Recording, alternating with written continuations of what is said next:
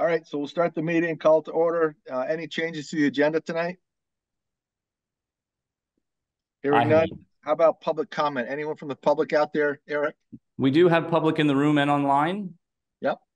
So Anyone typically from we go, I Public want to speak on anything not on tonight's agenda? I was gonna say typically we, we go to public in the room first, um, for any comments. So if you want to offer anything?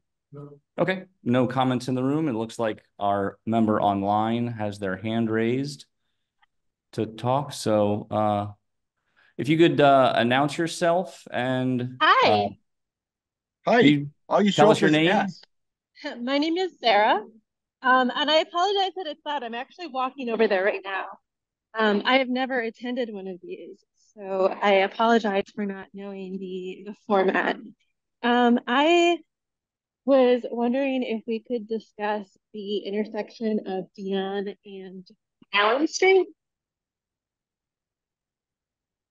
Okay, that wouldn't be here. That would not be there. Okay. No.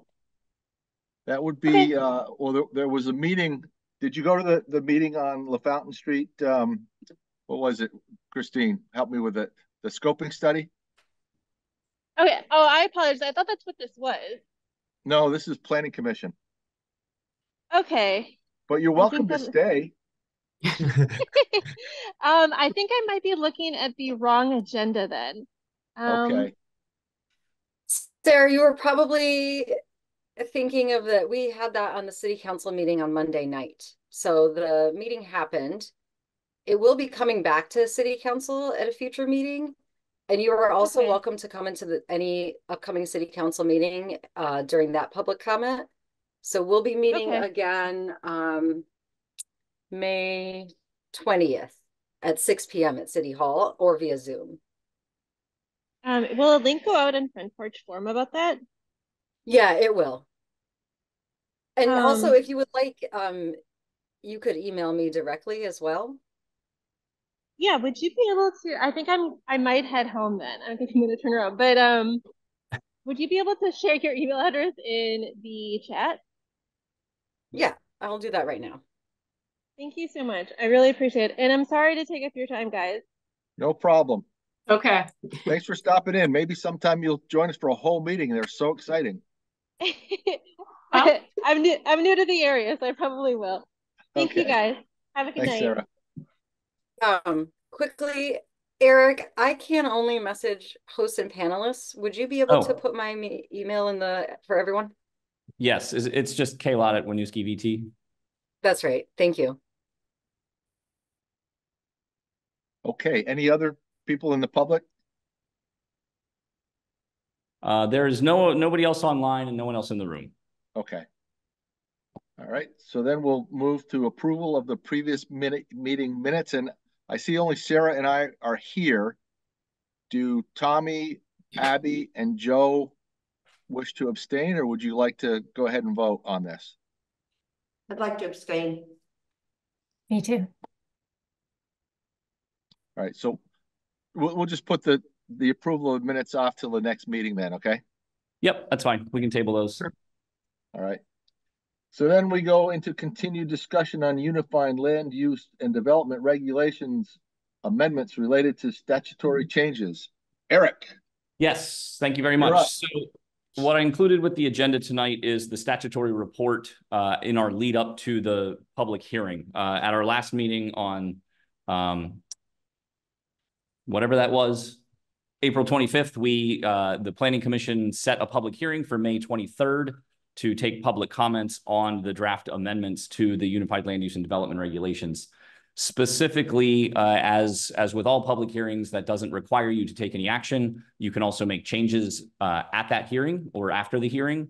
Um, or you can forward amendments on to city council for their consideration. So I wanted to put this, or Mike and I talked and we decided to bring this forward to you all so that you could at least see the full amendment package. Uh, I know uh, some of you were not at the last meeting, so you did not get a chance to see some of the changes. So uh, what I wanted to do is just walk through the amendments, um, not necessarily get into any serious discussion about them tonight, because we can do that at the public hearing, but just to bring everybody up to speed on where we are with the amendments and, um, and what's included. Uh, also, I have a couple of changes from our last meeting that I'll highlight. This is just for reference, the, the information you had in the agenda is what was advertised for the public hearing as well. So this is what the, the public has available to them for that hearing. So I'm going to share my screen. And Eric, we- did you, did you just say that we're not going to be like making subs- substantial changes tonight? I I think, Abby, I think we can note those changes, but it would probably be best if we talk about those at the hearing to actually formalize the changes so that they're, uh, so that they'll be done in the context of the hearing and so that the public is aware of, of what, what is being changed, since this is what was advertised for that hearing. But, but uh, let me chime in because we did want to allow the folks who weren't here at the last meeting a chance to give input. So if there is something that sticks out, Correct. feel free to, to talk about it. Yes, absolutely. That's, yes, thank you, Mike. It's not to Yeah. suggest that we should not talk about the amendments, but just to, uh, if we're going to be making substantive changes, we should probably do that in the context of the hearing or at the hearing so that um, what is advertised, well, we wouldn't be able to make any of the changes formal until we did the hearing anyway. So because of, because this was already advertised for the hearing. So, um, but very good question. So the first couple of pages of the application or the packet are just the uh, report, the statutory report outlining consistency with um, the uh, state's state's requirements. So I'm just going to kind of cruise through things. Uh, please stop me if you if you need to discuss anything or want to discuss anything. So the first section, Article Two, we have a couple changes. Nothing new in the uh, under under the applicability in two point three. That remains the same as it's been under item E. And I'll apologize for the scrolling. Under the land use table, from the previous version to this version, we did make some updates to the multi-unit development or multi-unit dwellings, the five plus units. So it was previously in the last version at our April 25th meeting, it was noted as permitted in the residential C. Uh, I think there was some confusion about why we were calling that permitted. Uh, mostly it was in relation to the fact that we are allowing it. We are allowing five or more units as part of a planned unit development with specific conditions. So we are not allowing that as a use just in general. So now there's this note that says see section 5.14, which is our reference to the priority housing uh, requirements that we've established already that are already included. So that that change has been made so that to indicate that multi-unit dwellings are not permitted in the um, in the the uh, in any of the residential districts unless the standards of the priority housing are met. Which, as for reference, priority housing is um, dwellings that are affordable or three three or more bedrooms or both. And just to clarify, not multi-unit dwell- dwellings, because we allow three and four, but five plus multi-unit dwellings. Correct. That's correct. Okay. Yeah. Eric, yes. I'm- That's. I'm sorry, I, I messed up. I hit some button on this computer that logged me out. So where are you right now? Um, not much further than where we just were.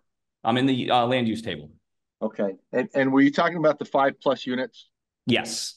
All right. Yeah. Because I'm still, as I said before, I'm still in favor of making uh five plus units, at least a conditional use in the RC zone. And um limiting how many units per building in that zone, but we can talk about it at the public hearing. Yep. Because I know there's Um, other people that disagree with that. Correct. So nothing else on that section has changed. We did add retail sales, neighborhood commercial as a conditional use in the residential A, just for consistency with the rest of the districts, the residential districts. I believe that's the only, I think that's the only other significant, or not significant, the only other change uh, to the land use table. Everything else on this section is the same as it was. All the footnotes remain the same as they were, have been. Um, when we get into the dimensional tables, the only thing that's changed here, all the dimensions in the primary or principal structure are the same as they were previously. The accessory structure, we did add under the maximum height. We did add a caveat. So it always read that it was 75% of the principal or primary structure, but no less than 10 feet uh, with the, the footnote of the accessory, uh, accessory dwellings could go up to twenty feet. We've now added this upper limit to, to cap it at twenty-five feet for an accessory structure. So it's, it'd be no less than ten or no more than twenty-five. And that was from some discussion at our last meeting. Uh, there was the, the, the point was made that we allow for thirty-five feet of height in our, uh, of the primary structure. So seventy-five percent of that would be, I think, like twenty-six feet or somewhere in there is what we calculated it out to be. So, uh, or an odd ratio of numbers. So we decided to, to limit the upper end, um, as well, just in case. Yeah, be 26 and a quarter feet at 75% of the maximum height in the residential districts. So this now puts a upper limit on the height of a primary, uh, of, sorry, of an accessory structure in those districts.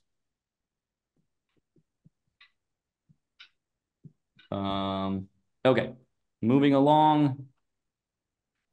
Here's where I've added some additional language. I there was new language added at our last meeting in the descriptions of the districts, uh, but to try to kind of get at some of the density component, uh, I did add some additional language that talks about the number of units that would be permitted. So in this case, um, a density of approximately five units per acre in the residential A, density of approximately eight units per acre in the residential B, and density of approximately 14 units per acre in the residential C. Just to clarify, those density limits are based solely on the number of lots that could be created based on the minimum lot size that's required. So for example, in the residential A, the minimum lot size that we're proposing is 7,500 square feet.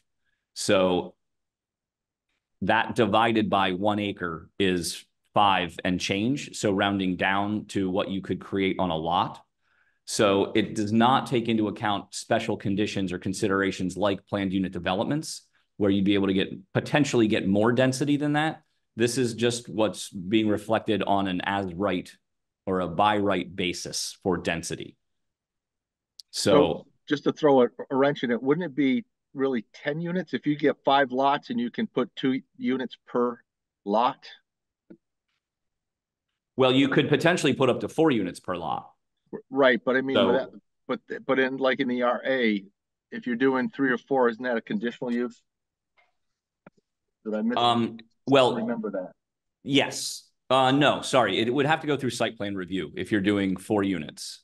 Right, which makes it conditional use, right? I mean, it's it's similar, but it's not it's not exclusively a conditional use where we have to have it as a permitted use per statute. Uh, Act forty-seven requires that it it remain as a con uh, as a permitted use, but Okay. That's we a permitted use, not Correct. conditional use. Yep. right yes, but we still right now our standards require that those go through site plan review. Anything more than two units. And where is that written out? That is in section six point six, I believe. Is It's it part of the, the review that we're doing today? That is not part of this review. No, we're not proposing any changes to, to that section at this time. Okay. But it's in Article six somewhere. I don't, I don't remember the exact citation off the top of my head, but yeah, site plan review and all the criteria that go with it would apply to any, anything over two units. Um, And to Mike's point about the yum, number of units per acre, is it four times five? Because you can do up to four units in a building? Well, and that's, I guess it could be. So I'm, I'm simply expressing it on a, basically on a, a- on a single unit basis with these definitions. We could express it differently if you want. Uh, we Would could it be do more accurate to say buildings instead of units? Or, Five or five buildings? lots. It's really five lots per acre. Yeah, it is. That's, that's true. So yeah, we could, that could clarify that it up to five lots per acre. Okay. And then that would carry forward to the RB and RC. Yeah.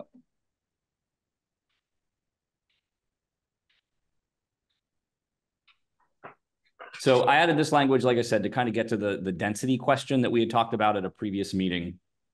Uh, just to kind of show some gradation of these three residential districts and kind of what those categorical differences look like. So nothing else in Article Two. And I'm actually going to skip ahead a little bit because there's nothing new proposed in Article Three either, uh, which is our downtown district specifically. Can I ask one quick question, Eric? Sure. Um, what is the um ceiling height, the required ceiling height, interior ceiling height in a in a on on a floor? I believe our municipal code in the housing chapter requires a minimum of seven feet Okay, interior interior height for it to be considered livable space. so could you get in a twenty-five foot building, could you get three full floors? I mean, that's 18, 19, 20, 22, 23, 24. It would be tight because you got space between the floors too. Yeah, Yeah, I think I mean I think it doesn't allow three, it just allows two. I mean, I think it would be possible. Whether it be practical is another question. Just because, Well, yeah, I would just hate for a building to be put up that was not comfortable. You know what I mean? If sure, cramming another floor of living just cause we can. I would be surprised if anybody would do that just because dimensions of lumber don't come in. You're, you're basically buying lumber that you'd be throwing away to, to save space. Or buying building materials that you're throwing away just based on standard building material dimensions. But could that be balanced out if you were to rent that place for a long time? That that cost might be worth it. I'm just asking this question of, you know, do I, I mean, I I guess it's it's possible. Whether or not it's practical, I think is another question. I don't know that the state would allow something like that because if it's a multi-unit building, the state's going to have to review it anyway. So Okay. I don't know if the state would allow that, okay. but technically based on our housing regulations in our municipal code, we do allow for a ceiling height, uh, minimum ceiling height of seven feet interior. Yeah. So. Um, okay, so like I said, in our Article Three, nothing new. Um, it's all related to the downtown core. In Article Four. Um, no, I don't believe there's anything new here either. From our last meeting. One thing I actually was. I was looking at this the other day, and this is something that I may bring forward to to you at the public hearing related to uh, the residential and non-residential driveways. Um, we did, we are proposing to increase the number of, of for multi-unit to five, more than five residential uh, dwelling units. I'm actually, something that I'm, I've been thinking about is whether or not we should even have, so right now, it's, it's not showing here, but we have a, um, part E of section four point two is for residential driveways. And actually, let me just look at the language. So we differentiate it between just residential of, I think, I think right now it says three or fewer, and then the multi-unit and non-residential at what is currently existing three or more. Um, one of the things that I've been thinking about is really related to this, this driveway distance for multi-unit and non-residential from adjacent property boundaries, that it needs to be at least 25 feet away. Um, this may create some issues, just given the fact that we've got a lot of narrow lots. And if we're adding, for example, somebody comes in, if they have a, a narrow lot that's very deep and they're doing a planned unit development with five units, they may have to move their driveway to a location that doesn't work or isn't even possible. So what I was thinking about is that leaving this section, part F, just for non-residential driveways. So for any type of commercial buildings, um, office buildings, things like that, they would have the minimum setback of 25 feet. And then we would just capture all of our residential driveways under one category, which allows them to be up to, I believe, five feet to the property boundary, which a lot of our properties already are and um, already have that component. So it would save from having to move a driveway into a location that otherwise would may not be feasible on a lot and therefore limit the number of units that they might be able to put even uh, to put on a lot even if they're permitted. So um, I'll bring you more information on that at a future meeting or at our next meeting, but that's something that um, I think it's a fairly simple change. It's just hard to explain without actually seeing it in writing. So Eric, do you know for- where the twenty-five feet, feet number came from? I don't. I'm my guess is that that is intended to provide some separation uh, between curb cuts for non-residential uses so that you don't have a bunch of non-residential uses that might have higher turnover and traffic right next to each other. Good That's point. that's the only thing I can think of is that it's really intended to space out some of those driveways. The other thing is if it's uh if it's going if it if we have a a, a property that's proposing five or more units, it's going to go through site plan review and that'll all be looked at from Public Works and the Development Review Board as well. So they will evaluate uh, any conditions that might be necessary for the siting of an actual driveway. Yep. Or a new driveway, I should say since that's this applies to new driveways. So uh anyway, Eric, Just a- I have a, I have a question.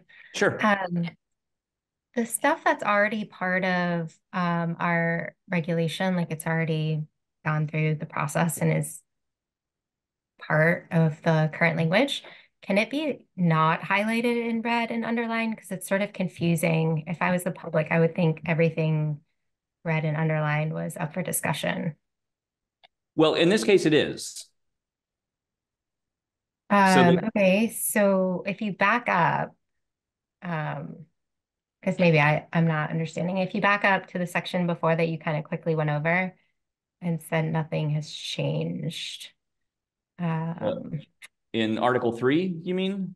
article, yeah, three point six. Okay. And then um, all of the required bike parking stuff is still highlighted. Yes, that's because that so yeah, so good question. Uh for clarification. So we added all the bicycle parking into Article four in our general parking standards. The parking standards in Article three are specific to the downtown core and did not exist previously.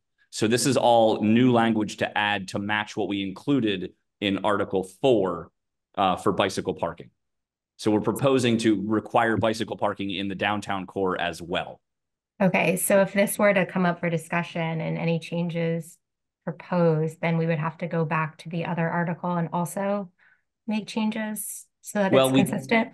We could. We don't have to, but we could. The the language the language that's in here now under bicycle parking is exactly what's in Article four, and any changes to Article four are also under the bicycle parking because we did have a couple minor tweaks are also reflected in in the bicycle parking under Article three. Okay, and then the table right above that that deals with um, minimum off-street vehicle parking. Yep. Sorry, I probably missed this discussion, but um, I know we have the one space per dwelling unit as a part of Act forty-seven. And then it looks like the only other category is um, one space per sleeping room for lodging or bed and breakfast. So um, all of the other uses that are crossed out, what is their parking requirement, or do they have no parking minimum? Yeah, so they would have no minimum off-street parking. We would basically, because it's in a downtown setting and because of the, sorry, I'm on the wrong table. Because it's in a downtown setting, because we have the parking garage, because we have on-street metered parking in the downtown core, it was at, at a previous discussion, it was determined that basically all these other uses are going to be high turnover anyway, or are intended to have high turnover, and we have public parking available so that that we don't need to dedicate parking for commercial or restaurant or office or uh, the other uses that are listed, only for residential or lodging establishments. But we have a lot of these uses not in the downtown. Right, so this only applies to downtown. Um, so this section only applies to the downtown commercial business district. Just trying to get my, my Yep, head wrapped around what area of town we're talking about. nope, good question. Let me bring up a map here for you.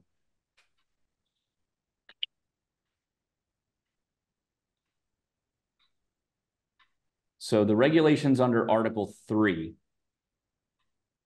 will only apply to this red area in the downtown core. Ah.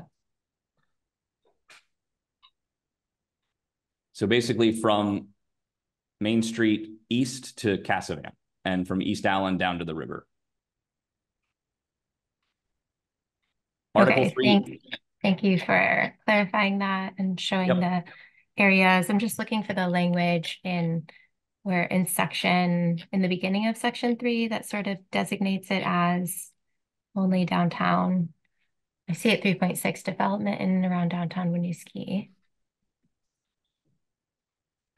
Regulations will apply to any new development or redevelopment in the downtown core district. Okay. Gotcha. Okay. Thank you. Yep, good questions, good questions. But yeah, the Article three is only for the downtown. Um, and Article four parking is for everything outside of the downtown. Gotcha. Okay, so none of that has changed, as I mentioned. So yeah, so driveways. Um, all right, let me make sure I'm in the right spot here myself. Conversion or change of use, that's nothing new. Uh, parking requirements. So yeah, as I mentioned, there's a couple of small tweaks in here. Nothing new from our previous discussions. Um, we're capturing the change in Act 47 for one space per unit. Uh, and just some some language changes for consistency. Uh, and then just a few small edits somewhere. Oh yeah, well, here's one with the outdoor covered that we talked about previously on the bicycle parking. But then none of the none of the substantive parts of this section have changed. Just a few minor word changes. And then the dimensions, as we talked about previously, um, referring to public work standards rather than having specific dimensions. This is something that actually came up again in one of the current housing bills that may have just passed out of the one of the chambers or both chambers today, possibly. That I believe it, the last version I saw did have dimensional requirements for minimum dimensional requirements for parking. Um, so this kind of takes all of that out of our regulations and puts it into public works where it can be easily changed as necessary if statute changes, for example. So, um, but there's some fairly common standards for those dimensions. So anyway, uh, all right, next up is Article 5. I don't believe there's anything new in the majority of these sections.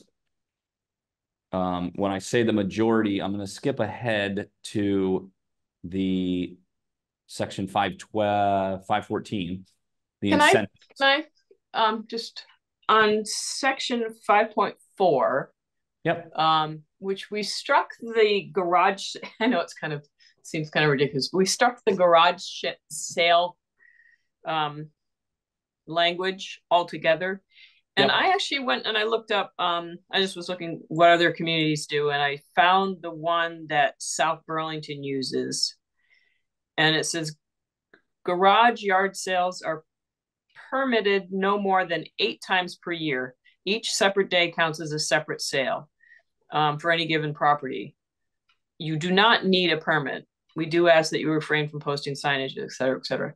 And I guess, you know, we talked about that a little bit before, and I just sort of feel like, you know, I, I grew up next to somebody who had one of these permanent garage sales in their house all the time, and it was sort of strange. So I don't know. It seems like there is language usually about garage and yard sales in most communities, and I think maybe we should keep it in there or a version of it. Well, so Sarah, the language you just quoted, if I heard you correctly, says that it does not Yeah. need a permit. Yes, right. So there's really no way to police that or enforce it. Even though it says you can do it eight times a year, if there's no permitting requirement, then there's nobody that's really going out to check on any of, of the number of times. So it kind of is a regulation without a regulation. Well, the only, I mean, why do communities do it then? I honestly, I have no idea. And I, I don't see, I, I don't know because the situation that you described where it's kind of a permanent yard sale, that would be a situation where we would treat that as a, as a business, not as a, as a yard sale. If it's something that's per- more permanent and is constantly happening, then we would treat that as a, as a, a non, non-residential use. And, and then we could, we could issue a, a violation or in, uh, take enforcement action against it because it's a commercial use, not a residential use. Okay, okay, that, uh, that, that covers it then. So there's, there's, there's other mechanisms to get to, get to it. your concern rather than somebody who just wants to sell some stuff on a Saturday. Yeah, I'm Does not that- worried about the Saturday sale. It's the, it's people that put up a permanent. Right. Does that like administratively ki- kind of dovetail into like somebody who's basically like an unregistered or unlicensed car dealer? Because I, they're, they follow kind of a similar pattern. There are people who like have a car for sale in front of their house. And it's like, oh, they're just selling their car. But then you're like, oh, you've had 10 different cars for sale this year. Right. Um, Yes. Yeah, we would look at it the same way, that if it's something that's pretty much like an on, on an ongoing basis, we would, we, we could, we have other mechanisms to enforce that rather than, than through some sort of garage sale provision. Okay. So if it became a problem, the city could do something about it if it was. That's If it was problematic. Yeah, okay, thank you. Yep, sure. Okay, so um, under section five point one four, this is our incentives for priority housing. Um, there are some changes here. Some of it's required by statute, some because statute changed and changed our regulations or made our incentives no longer incentives. So probably the main things that have changed um, is under the incentives. So plan unit developments, we previously had the residential A and B allowing four units per building a- and residential C allowing six units per building. So now we're changing it to any of the residential districts can do up to six units per building, provided that in this case, um, at least fifty percent of the dwellings in the overall project or proposal meet the qualifications of the uh the bedroom count. So they the at least half of the units need to have three bedrooms or more to qualify to to do the six units per building. Um, in addition, we're granting fifteen percent additional lot coverage to accommodate any additional size that might be needed to to add those those extra bedrooms. Um, the density bonus has not changed, except that we are allowing some additional lot coverage as well, because the density bonus comes from planned unit development where all of the units are affordable and have three or more bedrooms. So this will allow, this will create an incentive to actually go down that road. I think previously limiting the lot coverage to, to the, to the base lot coverage at fifty percent may not actually provide an incentive to anybody to do an entire project of three bedroom and affordable. So, um, that's the only change here is to add the additional lot coverage, but I believe that was something we've talked about previously as well. Um, and then minimum parking is still the same. So the Let me bonus, interrupt you, Eric, yep, because I'm just gonna, uh, again, I still, I still have a, um, I don't say a concern. I guess I still feel like the RC zone should allow, um, be differentiated a little bit more because it is a higher density zone than the other districts. Um, and when you put the incentives in, we're, we're kind of recognizing that because you can get an extra unit, uh, per, what is it, extra dwelling unit per lot in the RC zone versus half a unit in the RA. So either, I think those should either be the same or we change the, the, the, uh, number of units allowed per building in the RC, um, a little bigger. But again, we can have that discussion at the public hearing. I just throw that out there for people to chew on. Well, I, that's a good point, Mike. Um, we could, we could basically coalesce all, uh, item I, double I and triple I into one so that it's just one additional number or percent of, of unit that's, uh, being permitted. Um, but yes, that's a good point. Yeah. That's a good point. I think there's nuance to leaving these gradations throughout the document because I don't think the number of units is the only indicator of density. I mean, just the way our zoning has been set up historically has created least dense to most dense through the districts. And that's done through a variety of things, including lot coverage and setback and number of units. And so Right, which, it's worth which, discussing, but it, I don't think it's like, um, I don't think forcing additional units into RC is gonna is required to keep it and for it to continue to be the densest. They also have the smallest lot sizes that we're putting the units on, so. well, it, to your point, it's, I don't think it's gonna be a big deal for most lots in town.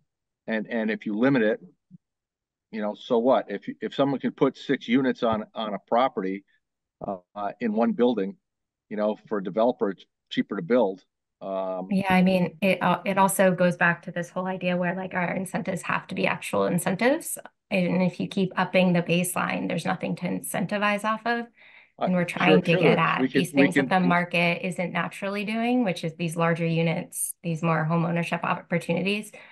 And the more units you allow on a property, the more incentive you are to have an outside investor come in and put tiny units on it to fit as much as possible to make the most revenue off the property. So there's like implications of just, it's not as easy as saying, like, let's just load up the units for RC. And I think the neighbors, there's implications. We've heard from a, a couple neighbors, I think three or four neighbors that wrote in about their concerns with that too. So I just want to make sure we're thinking like long-term about what that means and how they interact with these incentive and priority housing. Uh, under, understood, but uh, again, my point is, we have to allow four units in the RA and RB. And if the RC is a, is a, it's really a higher density district, then allow someone to put more units in a building. And I understand that, that, you know, that doesn't necessarily increase the density, but it allows for a bigger building and there are restrictions on height and all that stuff anyway. So the, the dimensional requirements are going to dictate if you can put that many units in a building. And maybe the number is just five, I don't know. Uh, but just some differentiation and then the incentive, you bump up by two units like you do in the RB and RC. But let's, we can discuss it at the public hearing. I, I'm probably the only one touting this and that's fine. If the rest of the commission doesn't want to do it, that's, that's the right of the commission and that's what I go with. Okay. So a new section that was discussed at the last meeting is uh, the bonus story.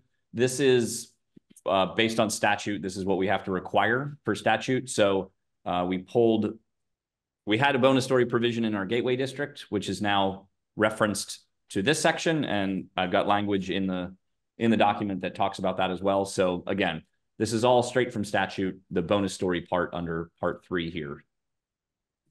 So not really much we can do with that. Uh, and then there's a new section here, this administrative review. So this is something that is, we reviewed at the last meeting, but uh, again, since some of you were not at that meeting, basically what this is saying is that if half of the units in a project, because we have site plan review for anything over two units right now, um, this is a provision that will allow allow you allow a project to not have to go through site plan review if at least half of the units in the project were affordable and met the bedroom count and were offered for sale. It's the for sale piece that's kind of the, the differentiation here. So these projects can still have conditions imposed. Um, if it's a planned unit development or if they need any type of relief, if, if they're proposing a conditional use as part of it or any waivers to the setbacks, that still has to go to the development review board. Um, but if they're able to bring something forward that's strictly a four unit, four or fewer units. Um, sorry. Yeah, it would be four or fewer units that half of them are affordable, have at least three or more bedrooms and are offered for sale, then it can go through an administrative review process.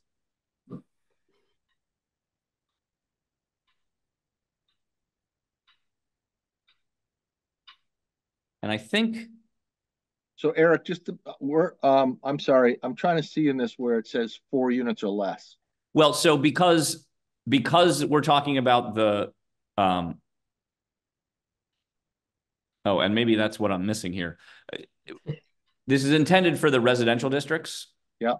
So in the residential districts, we only allow four units unless it's by a planned unit development.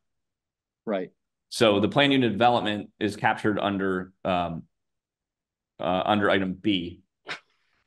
Sorry, uh, under item C.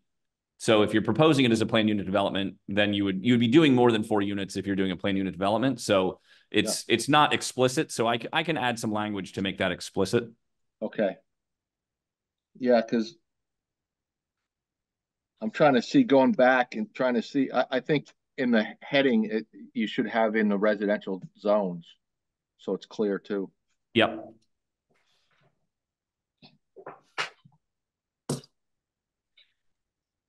But so this would be a potential incentive for, um, yeah, to offer some ownership as well, to, to kind of get out of that site plan review process and just do an administrative review for those smaller projects.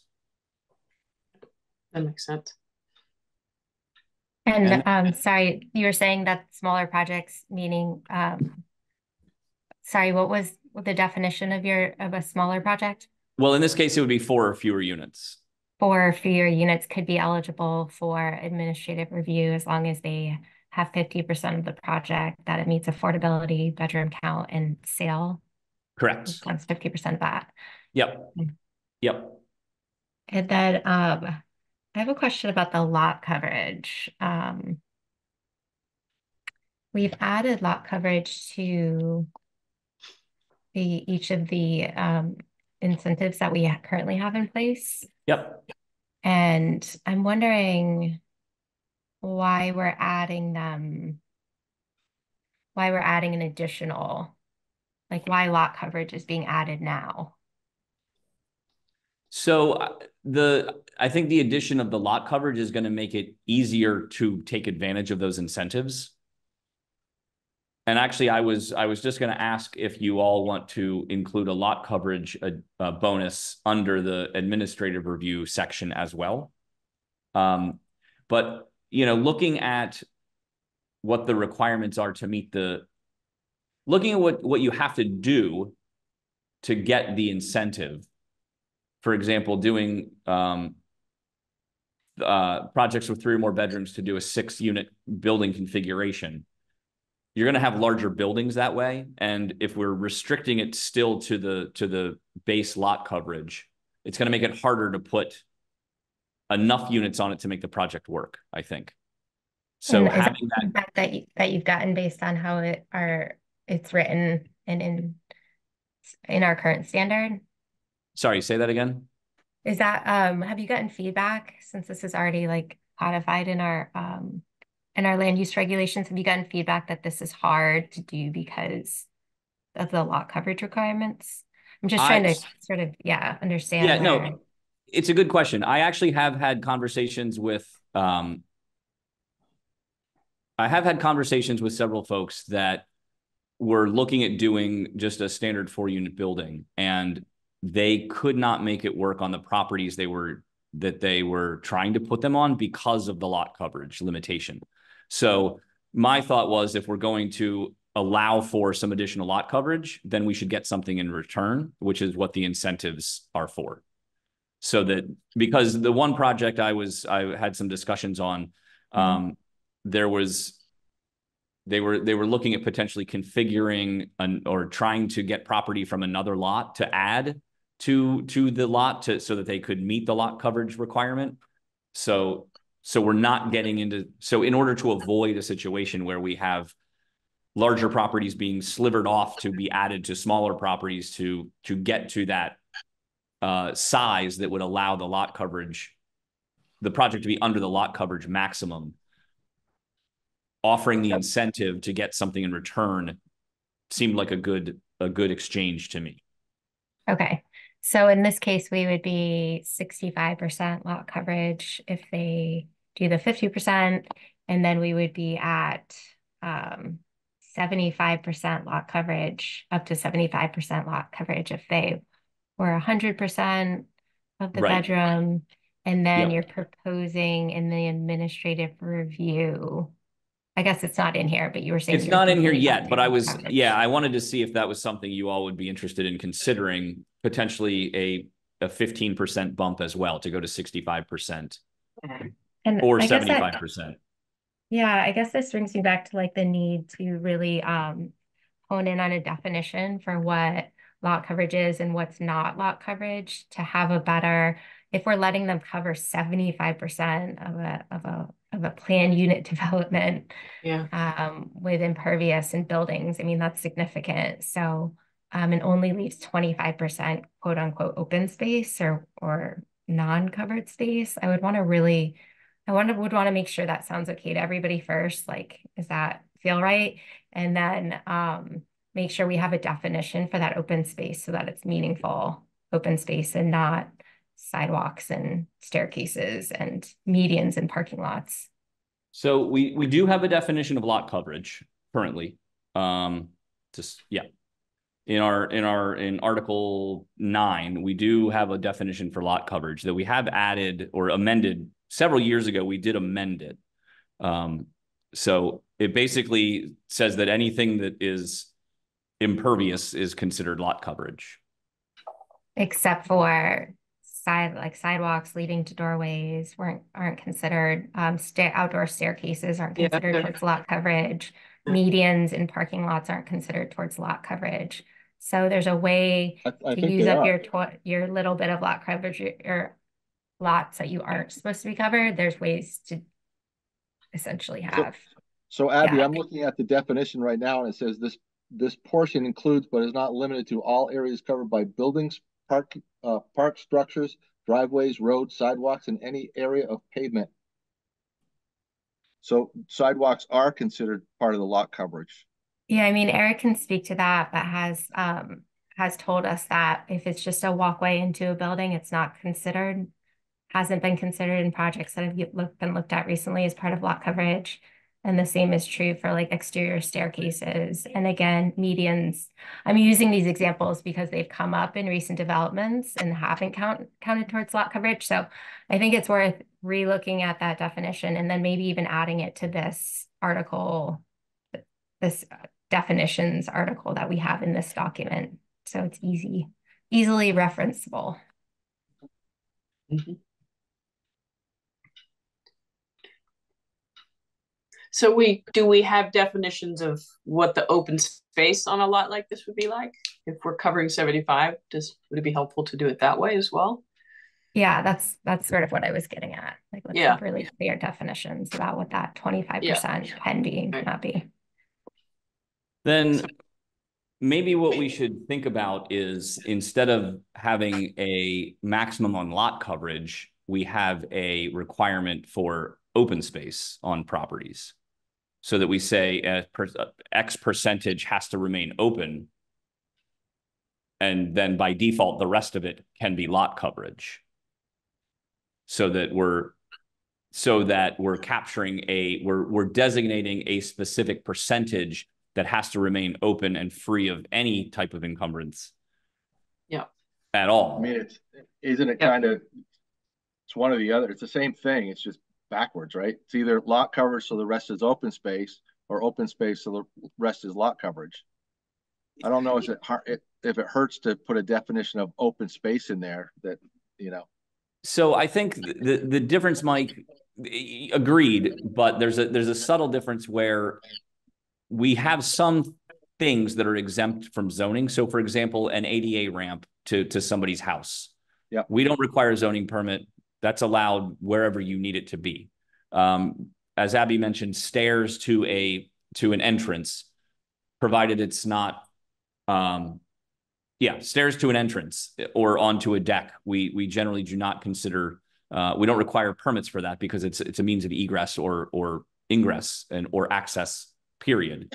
So we don't we don't take those types of components into account when we're looking at lot coverage because they don't require zoning. So we're not reviewing them mm-hmm. in that regard. So if we flip it to a percentage that a minimum percentage that needs to remain open, then we're basically saying you have to have so much open space on the property and then the rest of it can be whatever you want it to be. so that it's kind of locking in that open space component. Yeah. I like that better. Yeah, So- and, and that sort of gets at the the idea behind the PUD, right? It's like we're going to let you densify a certain area of your property because you're gaining that sort of open space in other areas of the property. So don't you still have the same thing though, Eric? If, if you, if you define open space and say, you know, let's just say a, a minimum of twenty-five percent of the lot has to be open space. And you define it. But if someone has to put in a stairs to a front porch, they can be in the open space.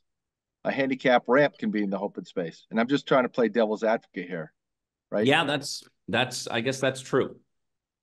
Um, Mhm.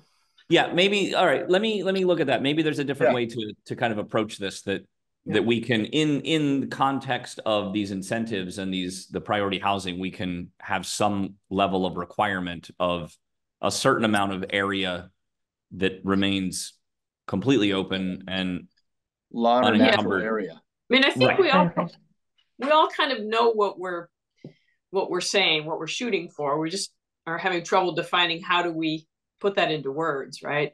Yeah. Um, you know, we want some air around some of these areas. We don't want it all Right. piecemealed together and have 25% open space, but they're all two foot squares, Right, not Right. not adjacent, you know? Or Yeah, Well, that's a, that's a good point. That's why I think we need a definition of open space. What is it? You know? Yeah. And, and, and it can include, you know, a contiguous, Right. you know, Right. something, something to that effect. Yeah.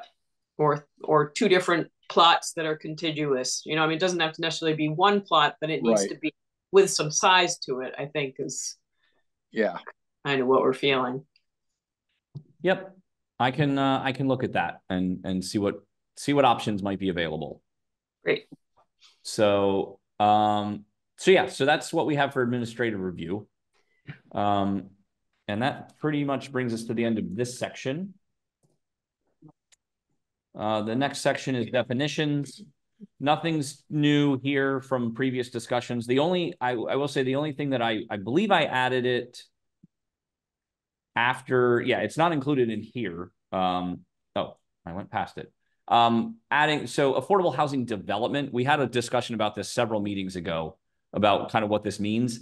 I was going to add that this is a statutory definition that Act 47 is basically saying we have to um, accommodate um, the so this goes back to the bonus story as as part of Act 47 and what they're requiring. So I was gonna I was just gonna add the statutory reference to this definition so that folks know where this is coming from. Do we? Do we have a de- we don't have a definition for short term rental? Is that something that other communities are putting in? And We actually we do, Sarah, we do. It's not included in zoning, it's in the municipal code. Okay, so Under, it doesn't it's need under to the be- housing section. It doesn't need to be in zoning then. Uh, no, because we don't treat it as a, as a use. We don't treat a short-term rental as a use. We treat it as a, as a dwelling. And then how it's managed or regulated is done through our municipal code Okay. with our other rental properties and similar, uh, similar components. So we do have standards for short-term rentals. It's done through our, our, I believe it's chapter fifteen of the municipal code, chapter fifteen or seventeen. I Um, brought this up maybe both. before, but but would it be useful to make short term rental a use? Just not necessarily for discussion tonight, but I'd like to look into that a little bit more. okay, yeah, we can do that. Eric, can I have a biggie on affordable housing definition. I think you're missing an S after it says fifteen year, fifteen years. Oh, yeah. Thank you, Mike. Happy to, happy to make that big correction. Yes, thank you. Eric, um, would you mind going back up to the bonus story um, Sure. section? Um, so you said this language is required as a part of Act 47? Yes, because in bonus story, they refer to an affordable housing development as, as defined in statute. So that's why we're adding the definition of affordable housing development. So, but statute has these like, if you do a bonus story, you get the maximum density. That's correct. fee. Okay, Yep. so we, so if they have affordable housing they can exceed the maximum density up to forty percent. So we're, that's like looking at right there almost, that's like seventy-five percent. So, so keep in mind, they can exceed, the way this is, this is gonna be a little tricky to enforce and to really, to address in Winooski. Um, the way this is written, of an affordable housing development, if we look at the definition, let me just skip back down to that. I- think it's really important to, to look at the definition of affordable housing development. Because at least twenty percent of the units or a minimum of five, whichever is greater, have to be affordable units. Mhm. So that is unless it's done as a planned unit development, that's only going to happen. That's not going to happen in any of our residential districts because that would put your your uh, total project at like 25 units. Um, housing development, at least twenty percent of the units are a minimum of five. So it could be smaller than twenty-five units. It wouldn't it wouldn't meet the definite. Well, they could do an entire project that's an affordable housing development, um, but They could do like a ten unit development and then have, yeah, like fifty percent of the units be affordable housing and meet our, the definition and be able to get that bonus. I suppose they could, yes, but keep in mind also the bonus only applies to um, density and building height. It does not, oops, wrong. It does not increase lot coverage. Okay, so projects may exceed the maximum density permitted in the zoning district. So what is that rel related to? Density, Well, how are they using that? that's a great question because uh, the legislature just not everybody uses density as a, as a measure. So uh, in most of our districts, actually, we don't use density as as a measure of anything. So I think only our our uh, central business district, I think that's the only one that has a density standard in it of 60 units per acre. Um, so I honestly, I really don't know. I think it's going to depend on on the project itself and what they're proposing. And if they're so, for example, if they're proposing 10 units and they're going to make half of them affordable, Mhm. um, then 40% of that would give them four more units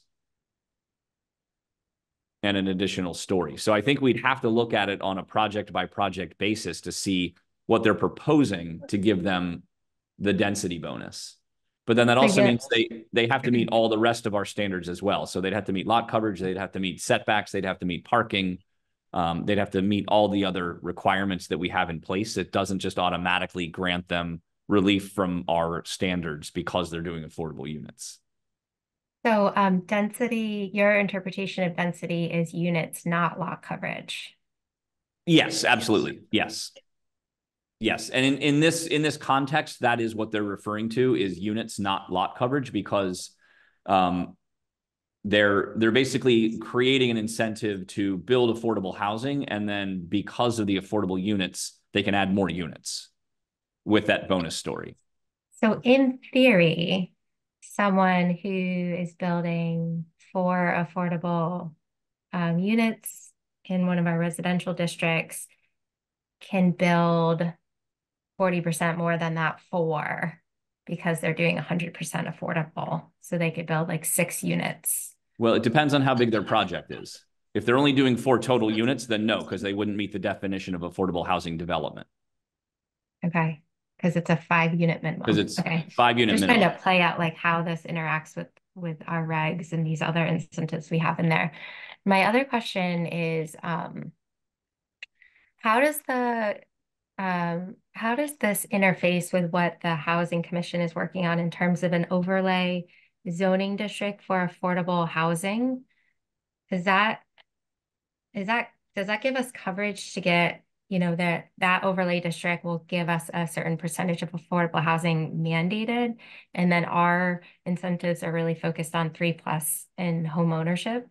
I, think that's going to be the intent. Yes, is that we're we're looking at a, a requirement for inclusionary housing that would apply to um, eh, projects that meet a certain threshold. I think, uh, and then they would be required to put in a certain number of units. Uh, and we can talk a little bit about this. The next item, we're going to look at some of that language and just kind of the the the the mechanisms for affordable or for the inclusionary housing and the uh, the replacement housing regulations. So, um, but yes, the the intent of those regulations would be that that would be a requirement on projects over a certain size, regardless of what you're building. Even if you're Mhm. doing all single and studios, you would have still Mhm. have a requirement of affordability. Yeah, and so if the overlay district really will get at the affordability piece, should ours be focused on the bedroom count and the ownership pieces? I, I think so, because, well, oh, I see what you're saying. Um, you mean taking the affordability piece out of our incentives? Instead of adding this like sort of third incentive area, because we don't really have any owner, o- home ownership incentive built into our existing incentives, incorporating home ownership into our density bonus or our multi-unit building, probably the density bonus. I see. So that we're not like requiring them to build um affordable, which I think is much stronger than us incentivizing it. So we're re- requiring it them them to do it, but then giving them like freebies for doing what they're required to, is sort of what where I'm Yeah. what I'm trying to get at. Well, so I, I will say that part of statute, if we do, if we do add inclusionary zoning requirements, we do have to offer incentives for those units or for that, those projects. Statute does require that there is some level of incentive being offered. So we will have to offer some component of an incentive to projects that do inclusionary zoning. And will that be built into the inclusionary zoning? Like, will the inclusionary zoning language end up with us in the planning commission in our Yes. regulations? It will. Yes. Yep. Um, okay. So I guess if it's going to be eventually incorporated into our work, then when it's created and incorporated, this could potentially change based on what those regulations, what that ends up looking like. Potentially, I think the difference is what we have here in um section five point one four is really related to the the priority housing, so the affordability and the bedroom count. So we still are, we may just, I guess we potentially could strip out some of the affordability components because it would be covered under the inclusionary, but keep the bedroom count uh pieces in. Yeah, and add the own, the home ownership piece in Right, the, yes. the dens, the density bonus, for example, which has both affordability and three plus bedroom. Correct. So does it make sense to do that now? Um, or does it make sense to do that as we learn more about the the overlay? I would say we should not strip out the affordability now because I don't know when we're going to be. I don't know what our, well, we can talk about this a little bit later as well uh, with our next joint meeting with the Housing Commission, but I, I don't want us to lose the affordability pieces now because we can always take those out later. Um, Okay. Inclusionary will be part of the zoning, so we will be making amendments at that time. And actually, I have them drafted as um, sections five sixteen and five seventeen, so they'd be in this article as well. So we can make sure everything is um, internally consistent at that time. Great, thank you. Eric? the- Yes. The, the affordable housing development definition you said is right from statute? Correct. That- That makes sense because it is somewhat confusing because when I first read it, and I think this is how you were interpreting it, it's twenty percent of the units up to a minimum of five. You know what I'm saying? So in other words, twenty percent of the units, um, a minimum of five meant that you had to have twenty-five units to reach that five threshold. Yes. But the way Abby was talking about it, I understand that interpretation too. So it's it's something that can be interpreted two different ways. And so I, I guess we can't change it because it's what statute says, but when I first read it, the twenty percent was the overriding number. The five was just you had to have enough units in a project to reach that threshold of five. You know what I'm saying? Well, so yeah, but yes, I do. But the way that the way that I interpret it and the way that uh, my colleagues interpret it is that basically your project needs to have at least 25 units. Right, that's what I'm saying. That's how I interpret it initially. Right. And but what Abby was saying, I can understand that interpretation as well. Yeah, because Yep. it would meet both the at least twenty percent and the minimum of five units. If you did anything five or more, if you have five units and they're all affordable, it meets the definition. If you have um Right. ten Right. units and fifty percent are affordable, it meets the definition.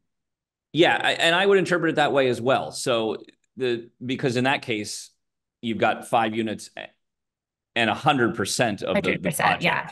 So, So it so it doesn't just deal with buildings twenty-five units or larger. no, correct, but to, for the minimum of the twenty percent or five, it needs to be at least twenty-five units. If you're just gonna do the minimum, going for the it needs to be, it needs to be twen- it needs to be twenty-five units.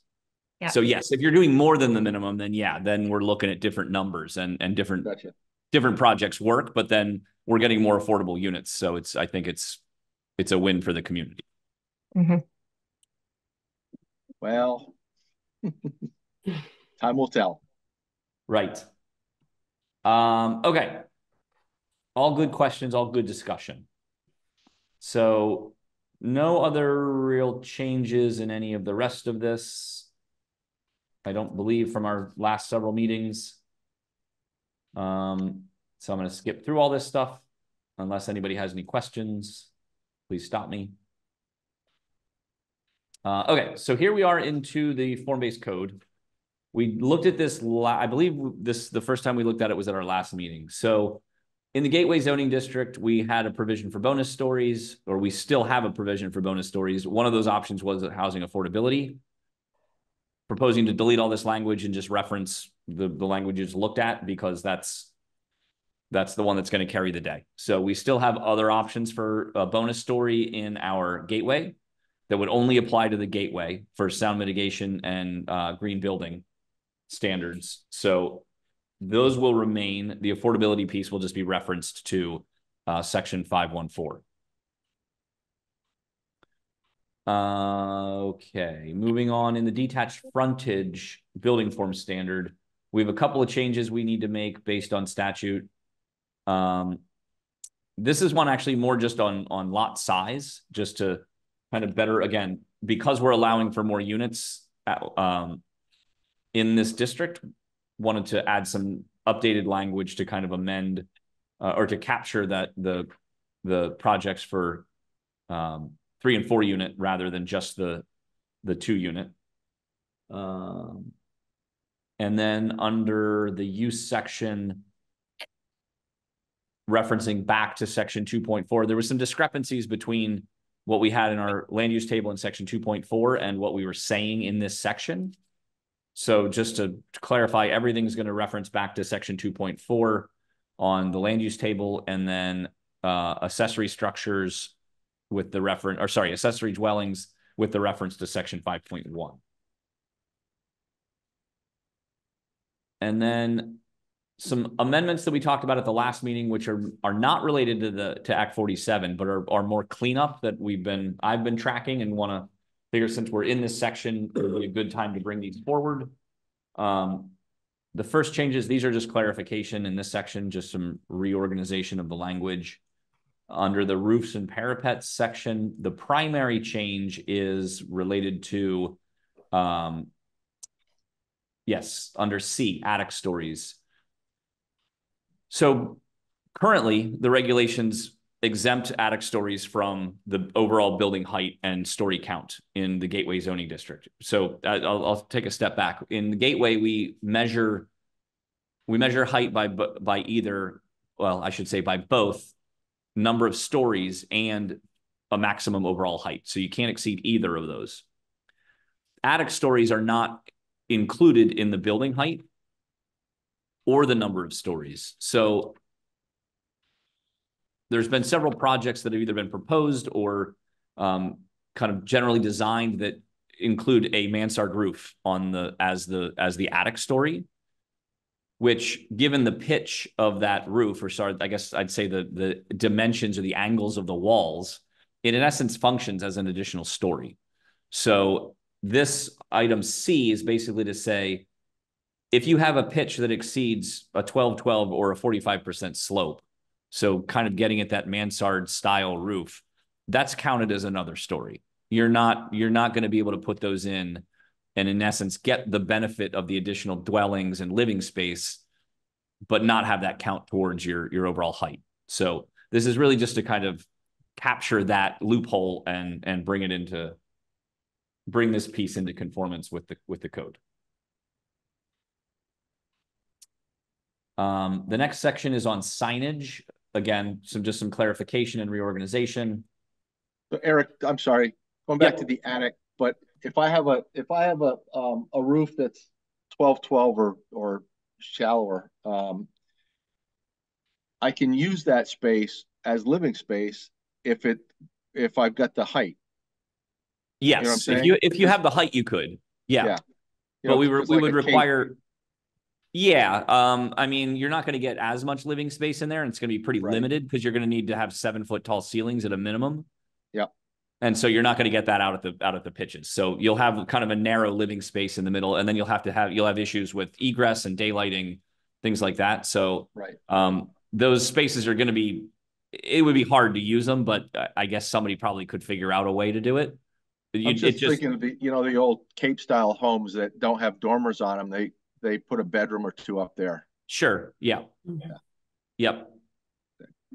This is, really, this is gonna prevent an, a whole additional story of dwellings. Gotcha. Okay. So, okay, under signage, the main change here is just related to sign lighting. Um, we didn't really have anything on lighting, so basically saying that it's gotta be downcast and shielded and only on the, the, the, the sign itself. This is, again, this is lighting related just to signs. So some new language here. Um, for signage. And then the next section on mechanical equipment, organizational again. The main change here is related to some new language under mechanical equipment, basically to say that any type of exhaust or air intake or venting has to be, cannot be located on the street space side, regardless of how high above the ground it is. There's been a couple of examples where um, we've had, we've had to have some, some changes have been required to some designs because they had mechanical equipment on the front of the building, high up on the, on the floors. Um, so that's four. Item five was added for, actually, the, the, the instance for this was actually four quarters. Um, because they have their grain silo next to the building. Technically, that's mechanical equipment, but because of the size of it, there's no way for them to screen that adequately. So really, this was designed, this section was added to say, okay, we understand that some uses may have equipment that's going to be just so unruly you can't do anything about it. So it's really intended to try to screen it or have it blend in with the building or have it set as far away from some of the street spaces as possible so it's not intrusive. I think given the use and the nature of what they're doing with their grain silo, it it works. Um, I think they still have some plans to potentially paint it as well or paint some murals on it to have it kind of blend in also a little bit better. But that's really what item five is intended for, is that if you have equipment that is just so unruly, but is a necessary part of your operation, we we have to take that into account. I don't know. They could have grown hops around it. Well, and uh, they actually, I think they are, or they were growing hops across the on the deck there as well. So they might, yeah, Yeah. they can definitely do that. It does remind me for decades, co- the, the old Koffee Kup bakery had a huge flour. Um, Oh yeah, yeah, and and then even before that, like uh, in Burlington, we used to have the Pease Grain Tower on the waterfront, and then there were people fighting to save it when they wanted to tear it down. Right. Yep. So, and then item six here is intended to basically say that. Oh, I sorry. Go want- ahead. Yeah, So go ahead. would you add anything in that, in five about that it incorporates nicely with the architectural style of the building or something? I mean, could it be? Because that's sort of what the grain silo looks like. It, it's all sort of modern. It looks, it looks fine, really. Um, I guess I- would hesitate to do that because I don't know what the equipment's going to be. So if yeah, if the- right. Yeah. I would hate for them to have to alter the equipment to match a building. And it, and it, and it kind of defate, uh, um, negates the, the use of the equipment or the need for the equipment, then I, I, I wouldn't want to limit them to, to, I would want to make it as open as possible for how they, how they treat the equipment to, to make it blend in better. And and let's be to keep in mind that is the only example of all the buildings that have been constructed or modifications to any projects in the gateway where this has ever come up. Mm-hmm. Um, so it's this is going to be for very specific uses and circumstances where this is even going to apply. The, uh, the, those like I think in like hospitals, those huge air systems that they have to um, incorporate are of kind of similar proportions, but usually they do end up sticking them towards you know back of house. Um, right. Yep. Yep. So, and then item six here is really just to capture the fact that we want to make sure that uh, the fire department has their equipment, the fire department connection in the in the most convenient place for them because it's a life safety issue. And so if they want something on the front of the building, then they should be allowed to have it there because it's either going to be they they will place their equipment or yeah, they'll place their equipment in in proximity to fire hydrants, in proximity to um, ease of use, uh, in proximity to basically to not block streets if they can help it. So I want to make sure that the these life safety devices are in the location where the fire department wants them to be. So that's what item six is here to, to capture so that it, it is a piece of mechanical equipment and sometimes it may end up in the street space. And that's okay in this case because it's really just basically a valve cover that you'll see on the front of the building uh, and maybe a, a, strobe light to indicate that that's where the fire is if somebody pulls the alarm. So also we want the fire department to be able to see what what the where the building is, and so if they need to put a strobe or something on the outside of the front of the building, that's okay too. Um, and they they do that anyway because under item A they are technically the agency having jurisdiction. And I did look that up. It is a it is a state term or it, it's a defined term, but it depends on the situation. So, for example, in this instance, the fire department is the agency having jurisdiction. Um, the EPA could be the agency have, having jurisdiction with environmental issues. Um, you know, it, it, it it's really more of a catch-all to say this is the group that is in charge of this thing. So, um, and Eric, is um their definition of clear sidewalk? I see it's all in caps, but I'm yes. What does yep. that mean exactly? And where does that definition live? That is in the Gateway District in Appendix B. Uh, so yeah, any of the words that appear in the all caps are are definitions, and they're all included in Appendix B uh, in the definitions for the Gateway District.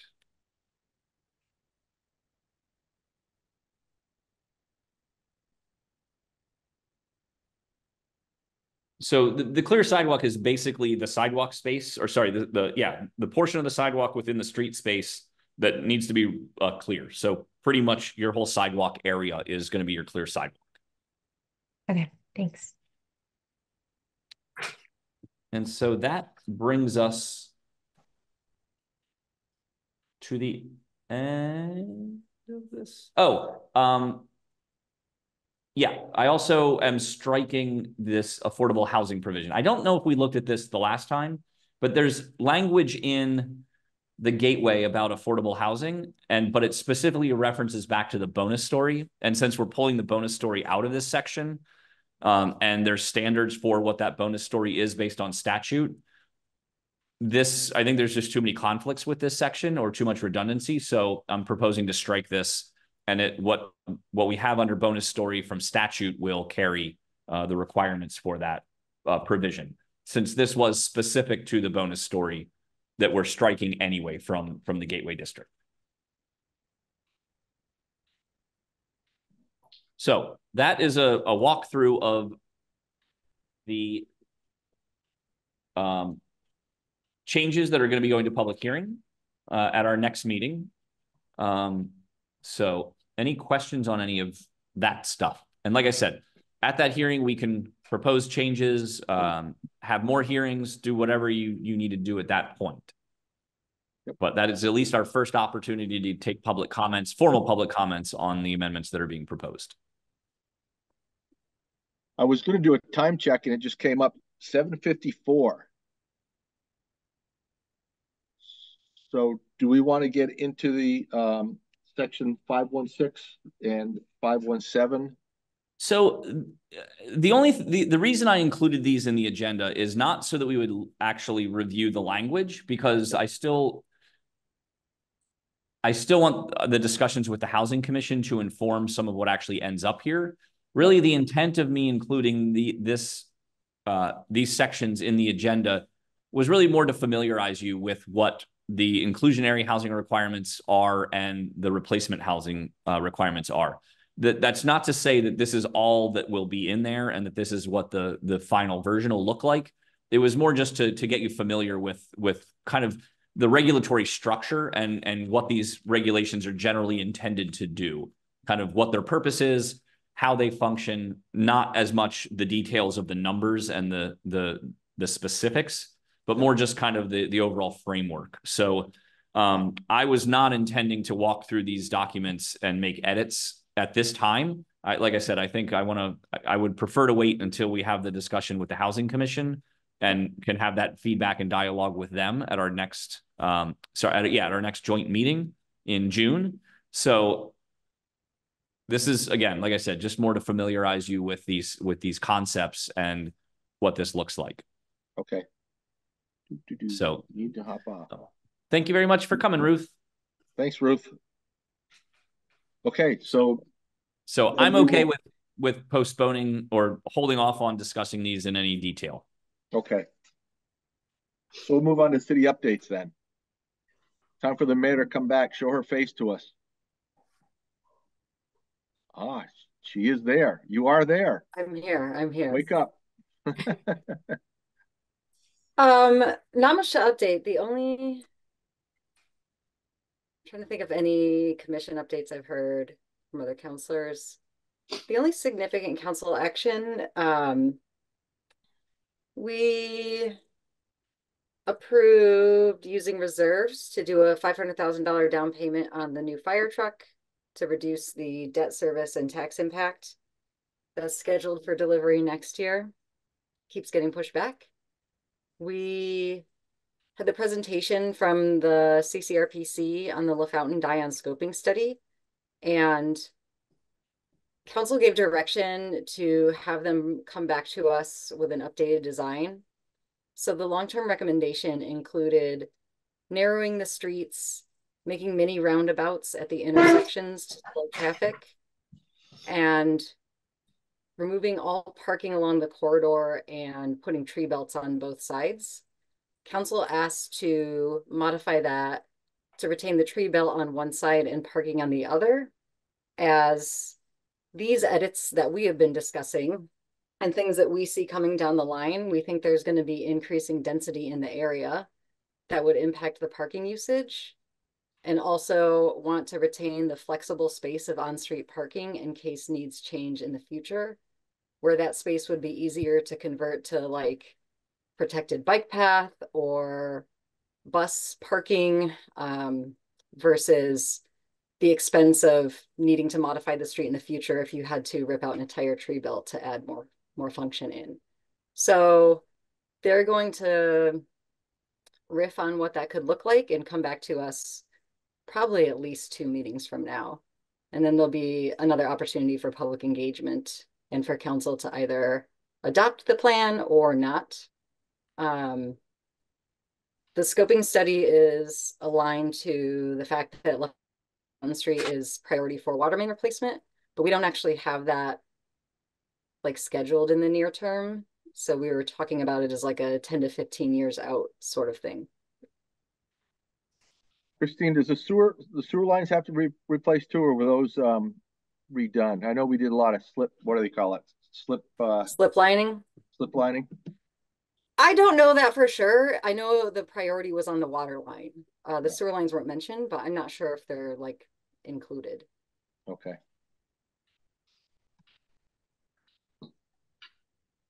Oh, and we are potentially having our annual like strategic prioritization June 9th or 10th, still up in the air on which date.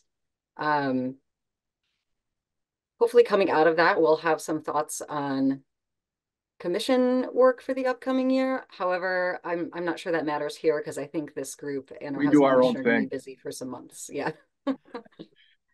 Christine, what about, um, did you hear, did you do the public or the, the hearing on the, uh, changes at the O'Brien Center for the, the, Oh, that was the third thing I couldn't remember. Yeah, we did that on Monday and we adopted those changes, so we're good to go. So thank you all for that. great. So over to you, Eric. Um, I don't have anything additional to add on city updates. Okay. Other businesses, Does anyone have any other business? So just as a reminder, our next meeting will be May twenty-third. That'll be the uh two weeks. That'll be a public hearing uh that has been warned for the amendments that we just looked at.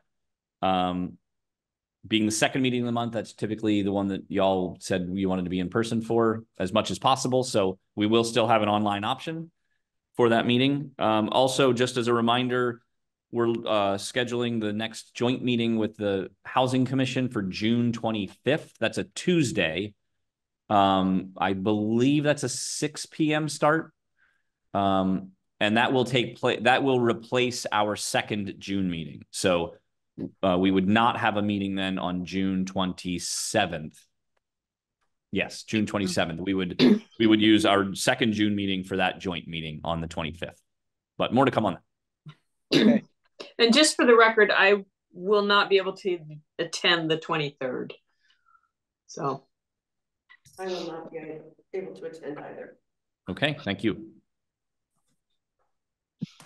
okay, Sarah, so pressure on if you have- everybody else. If you have any feedback you want us to consider during the hearing, probably shoot it over to Eric. On any of the Oh, stuff. we yes. do. Yes. Yep. Okay. All right. And Eric, remind me when your last day is? Uh, June 20, 28th. Okay, so you'll take us through the end of June. Yep. Great. There's no other business. I'll take a motion to adjourn. And before we do that, thank everyone for coming tonight for the discussion. Uh, Christine, thanks for being here. Eric, thanks for all your work. Thank you all. Um, Sorry, one more question. How is the um hiring process going for your replacement, Eric? Um, I, I I don't know. I know the the job has been announced, uh, or the the position has been announced, but I have not been involved in those discussions. So I I don't know how many applications have been received or what that process looks like moving forward. Okay, you don't even know if they started interviewing. I do not know if they have. I don't think they have. I the I believe they're keeping the keeping it open until the 16th.